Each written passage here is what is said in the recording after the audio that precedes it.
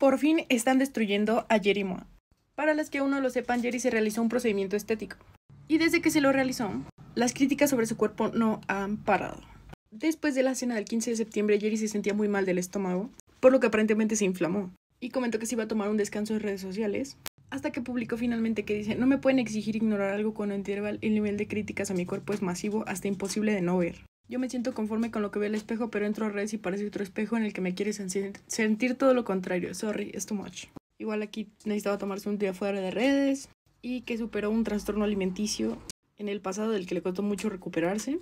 Y agradece a las personas que le han mandado bonitos mensajes de aliento. Y esto es real, oigan. El otro día que estaba yo haciendo otro contenido igual de Jerimoa, en su Twitter había un comentario, déjenme buscarlo. El tweet es claro, dice, me inflamó el pozole. Y este comentario de aquí abajo, o sea, demasiado innecesario, ¿no lo creen?